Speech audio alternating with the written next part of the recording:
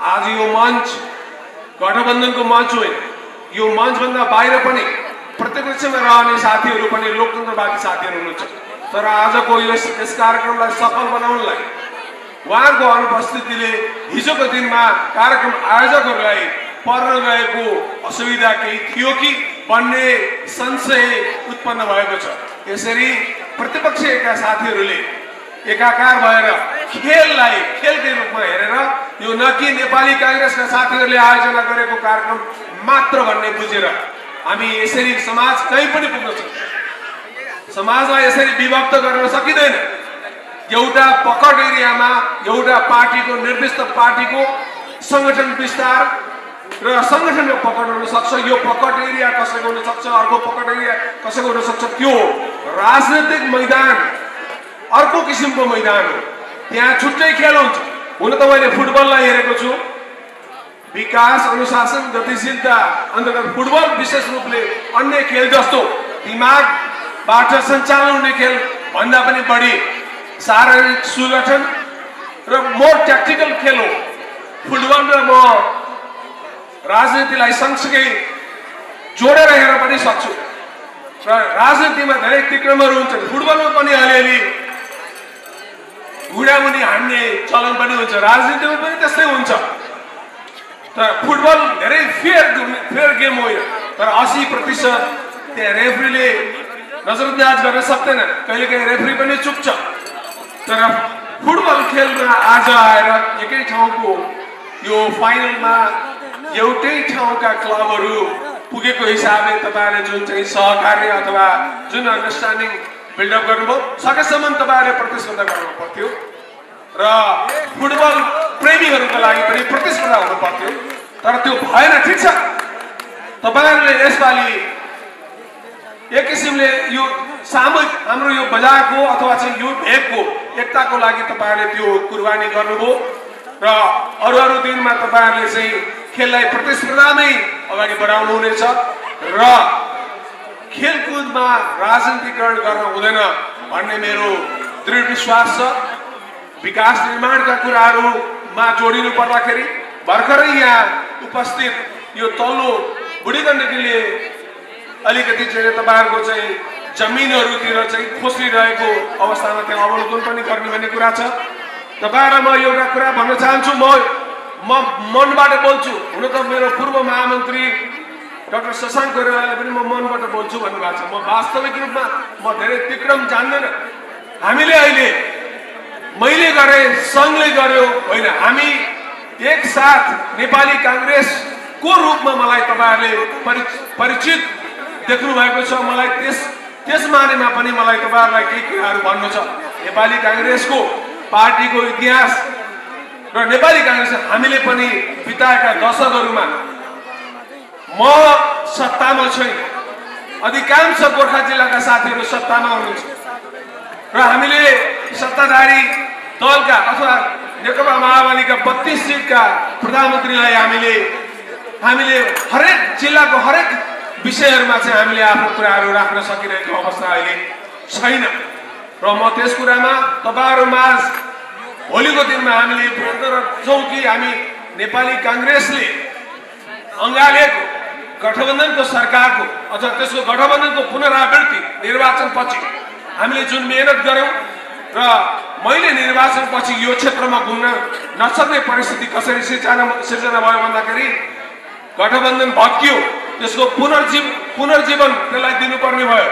त्यसपछि म निर्वाचन निर्वाचित भइसकेपछि मलाई करिब करिब यो चाहिँ जनप्रतिनिधि नेपालको सरकार थाई सरकार कर्मचारी कर्मचारीहरूले कसरी बजेट विनियोजन गर्ने रहेछन् भनेर निहाल्दैमा धेरै समय गयो।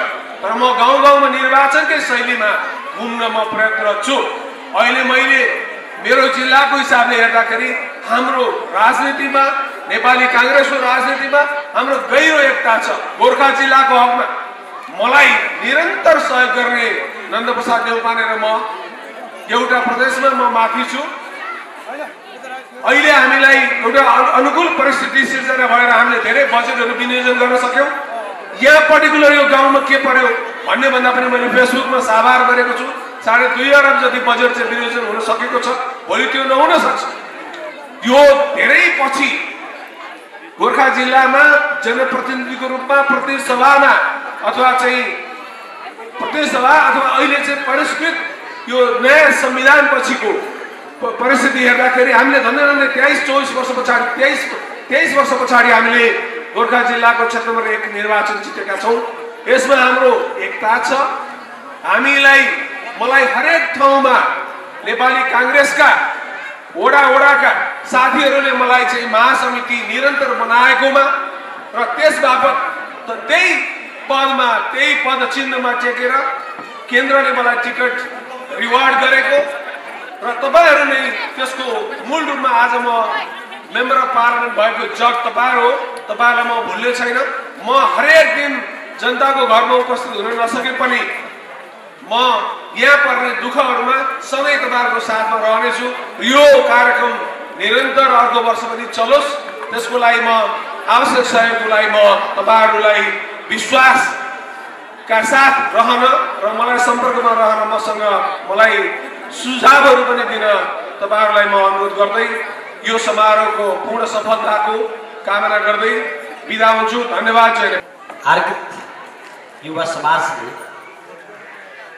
यस फुटबल कार्यक्रमको समापन समारोहमा डाकेर तपाईँहरूको बिचमा साक्षात्कार गर्ने भेट्ने जुन अवसर जुटाउनु भयो यसको निम्ति म समाजका युवा क्लबका अध्यक्ष लगायत कार्य समितिका सबै साथीलाई गण्डकी प्रदेशको एउटा मान्यको तर्फबाट र नेपाली काङ्ग्रेस गोर्खाको सभापति तर्फबाट पनि यहाँहरूलाई म विशेष धन्यवाद दिन चाहन्छु र यो निर्वाचनमा तपाईँहरूको बिचमा आएर निर्वाचन लडियो र यहाँहरूको आशीर्वाद र मतबाट विजय पनि प्राप्त गर्न हामीले सङ्घीय सांसद र हामी प्रदेश सांसद जुन चाहिँ तपाईँहरूको मतबाट विजय भयौँ र विजय पश्चात तपाईँहरूको बिचमा साक्षात्कार हुने भेट्ने त्यो अवसर हामीलाई जुटिसकेको थिएन कोसिस गरिरहेका थियौँ कामको बावजुद तपाईँहरूको टोल र बस्तीमा आउने अवसर मिलिरहेको थिएन।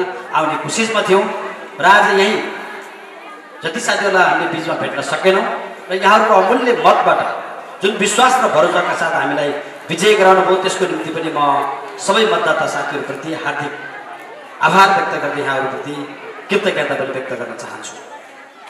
र विशेष गरी यो मक्सिर र कार्तिक र मक्सिरको बिचमा धेरै ठाउँमा युवा साथीहरूले फुटबल आयोजना गरेको खेलमा सहभागी हुने अवसर पनि जुट्यो। मैले यसो हेरेँ विगतको भन्दा अहिले मलाई के अनुभूति भइरहेको छ भने हाम्रो गाउँ र ठाउँमा बसेका युवा साथीहरूले जे खेलको माध्यमबाट युवा साथीहरूमा गाउँमा भएका युवाहरूको बिचमा रहेको जो खेलप्रतिको क्षमता छ जो उहाँहरूको चाहिँ जुन इच्छा छ त्यसलाई खेलको माध्यमबाट बाहिर ल्याउने जुन जमर्को गर्नुभएको छ यो वास्तवमा सराहनीय छ। त्यसै अन्तर्गत अर्कै युवा समाज युवा साथीहरूले जो काम गर्नुभयो यहाँहरूले तिन चार दिन लगाएर खेल खेलाउनु भयो र यसको निम्ति यहाँहरूले जुन मेहनत गर्नुभयो यसको निम्ति पनि मेरो सधैँ तपाईँलाई साथ र सहयोग रहनेछ। र यहाँहरूले खेलको माध्यमबाट युवाहरूलाई जोड्ने स्वस्थ एउटा जीवन र एउटा खेलको माध्यमबाट संसारभरि चिनाउन सक्ने यो एउटा महत्त्वपूर्ण अवसर पनि हो। र हाम्रो खेलमा जो साथीहरू सहभागी हुनुभएको छ जो खेल्नु भएको छ उहाँहरूले आगामी दिनमा आफ्नो खेलको जीवनलाई पनि उत्तर उत्तर प्रगतिको पनि कामना गर्न चाहन्छु। र यहाँ क्लबको साथीहरूले खेल खेलाउँदै गर्दा मैले कति ठाउँमा देखेँ। एघारजना खेल्नुपर्ने सातजना खेल्नु परेको छ। नब्बे मिनट खेलाउनु पर्ने ठाउँमा तिस मिनट खेलाउनु परेको छ कहीँ त बिस मिनट छ। त त्यसरी पनि हाम्रो खेलको विकास हुन सक्दैन। त्यो नब्बे मिनट खेलाउन सक्ने अवस्था र एघारजना खेल्न सक्ने अवस्था ग्राउन्डको प्रबन्ध गर्नु राज्यको पनि कर्तव्य हो। युवा साथीहरूको त्यो जुन खेलप्रतिको प्रेम छ त्यसलाई पूर्णता दिनको निम्ति राज्यको निकाय बस्ने प्रत्येक सदस्यको दायित्व हुन्छ। त्यसैले मेरो प्रदेशभित्र मैले भन्ने गरेको छु यो प्रदेशभित्र सबै वडा प्रत्येक टोलमा मैले भनिरहेको छैन हामी कहाँ धेरै टोलहरू छन् तर कम्तीमा पनि यो वडामा एउटा कम्तीमा पनि राम्रो ग्राउन्ड बनोस् जसको माध्यमबाट खेलाडीहरूले खेल्नको निम्ति उपयुक्त ग्राउन्ड निर्माण गर्नु हामी सबैको कर्तव्य हो। हामी सङ्घ र प्रदेशको सांसद र स्थान गाउँपालिका मिलेर वडा पनि मिलेर हामी प्रत्येक वडामा एउटा खेल्न युक्त मिल्ने ग्राउन्ड बनाउन चाहन्छौँ। हामी खेल खेलेका हेरिरहेका छौँ। खेलको ग्राउन्डमा हामी स्वच्छ जीवनको परिकल्पना गरिरहेका छौँ। तर युवा साथीहरू ठुलोमा खेल खेलिरहनु परेको अवस्था हामीले देखेका छौँ। एउटा बल गुड्केर गए पनि पन्ध्र मिनट लिन जानुपर्ने अवस्था पनि हाम्रो बिचमा छ। यस कारणले हामीले हाम्रो भूगोल अनुसारको हामीले त्यो निर्माण गरेर उपयुक्त ग्राउन्डहरू निर्माण गर्ने हाम्रो दायित्व आगामी दिनमा त्यो ग्राउन्ड निर्माणको निम्ति तपाईँसँग सँगै बस्ने प्रण गर्न चाहन्छु र यो खेल खेल्ने जुन अवस्थाहरू तपाईँलाई जुन अप्ठ्यारोहरू परेका होलान् त्यसको निम्ति पछि क्लबका साथीहरूसँग बसेर छलफल गरेर तपाईँहरूको बिचमा तपाईँलाई परेको अप्ठ्यारोमा साथ दिने वचनबद्धन व्यक्त गर्न चाहन्छु।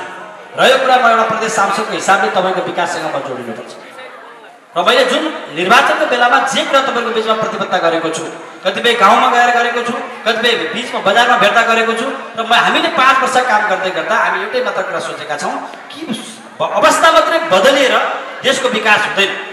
ना हामीले शासन व्यवस्था मात्रै परिवर्तन गरेर पनि देशको विकास हुँदो रहेनछ त शासन व्यवस्था नागरिकको अधिकार स्थापित भइसके पछाडि हाम्रो समाजमा रहेको आधारभूत आवश्यकता परिपूर्ति गर्नुपर्ने एउटा सरकारको जनप्रतिनिधि कर्तव्य रहन्छ। हाम्रो त अनवरत रूपले हामीले सङ्घर्ष गर्ने स्रोतको प्रबन्ध गर्ने र यथोचित विकासको निम्ति हामीले प्रयास गर्नुपर्छ। यो हामी सबैले गरिरहेका छौँ हिजोको जनप्रतिनिधि पनि त्यही अनुसार काम गर्नुभएको छ र जुन कुराहरू अधुरो रहेका छन् जुन कुरा गर्ने थालनी गर्नु परेको छ त्यो कामलाई परिपूर्ति गर्ने अहिलेको जनप्रतिनिधि कर्तव्य हो। हामीले गर्दै जाँदा सबै कुरा नहुन सक्छ।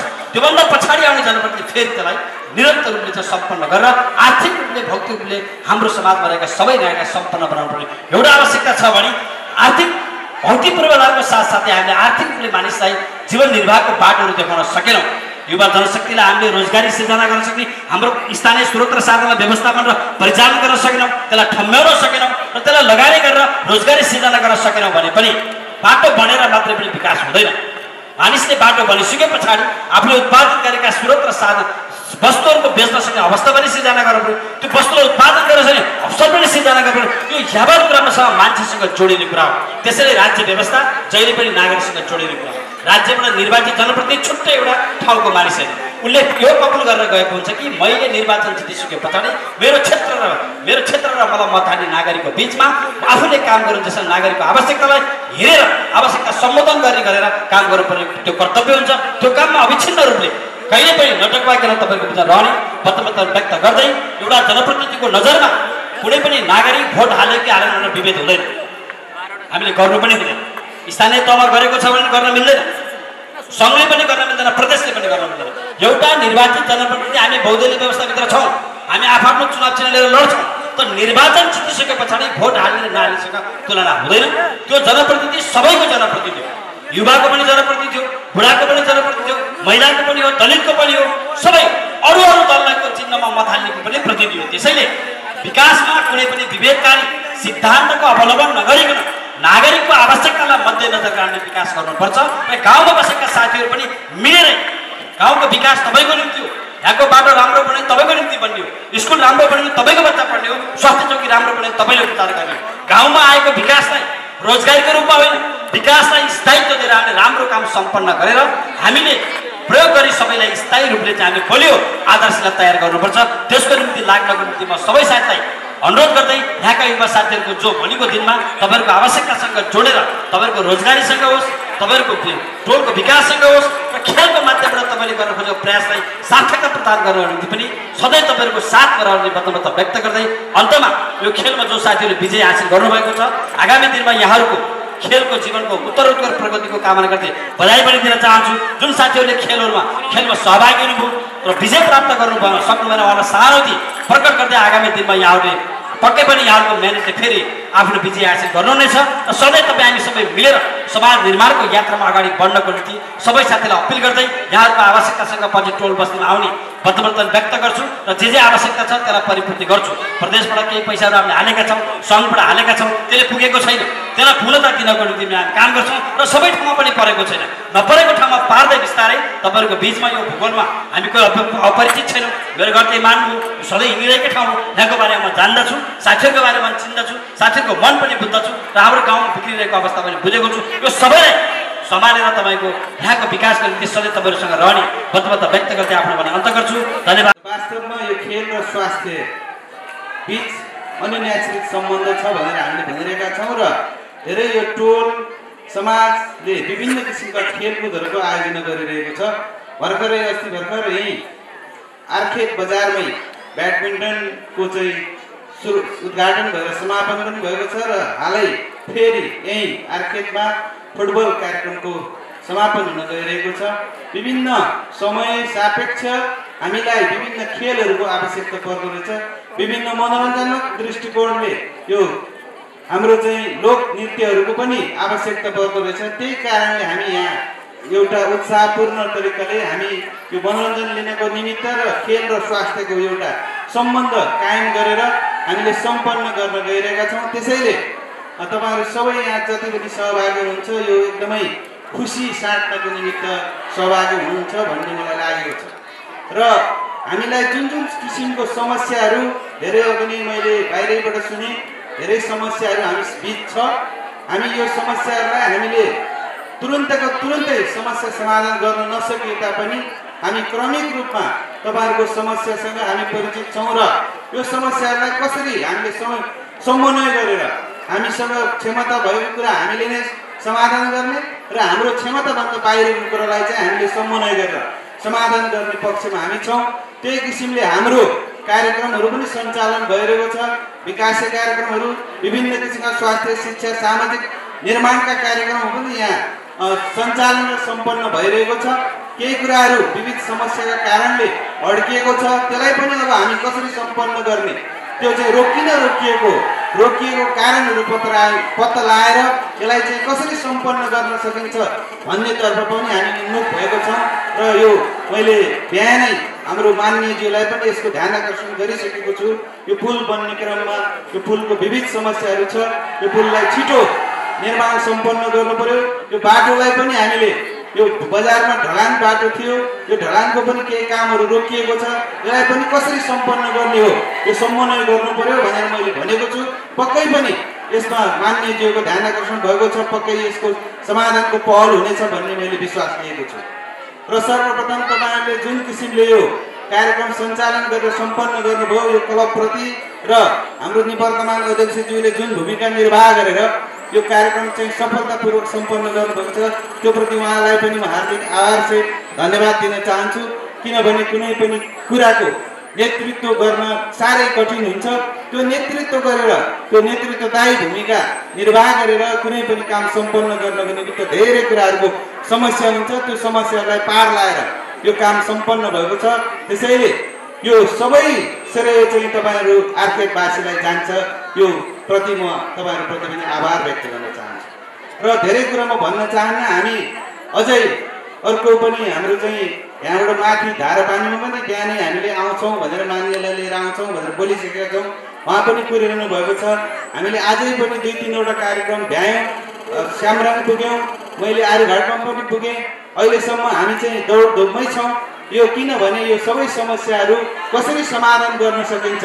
यो समस्याहरूलाई कसरी पार लगाउन सकिन्छ भन्ने उद्देश्यले हामीले हाम्रो मान्यज्यू पनि भर्खर आउँदै हुनुहुन्छ यो सबै समस्याहरूसँग हामी जुधेर मुकाबिला गरेर सबैसँग समन्वय गरेर यसको परास्त गर्ने र यहाँ रहेका समस्याहरू सबै हामी समाधान गर्ने उद्देश्यका साथ यहाँ चाहिँ प्रदेश माननीय सङ्घीय माननीय हामी पूर्व चाहिँ निवर्तमान अध्यक्ष हामी चाहिँ सबै मिलेर काम गर्छौँ भन्ने प्रण गर्दै तपाईँहरूसँग रहेका धेरै समस्याहरू हामीलाई चिरपरिचित छ। तपाईँहरूको समस्याबाट हामी अनभिज्ञ छैनौँ। तपाईँहरूको समस्याहरूलाई पक्कै पनि हामी सबै मिलेर दूर गर्नेछौँ भन्ने उद्घोष गर्दै तपाईँहरूलाई फेरि पनि यो कार्यक्रम सफलताको चाहिँ एकदम सफलतापूर्वक सम्पन्न गर्नुभएकोमा हार्दिक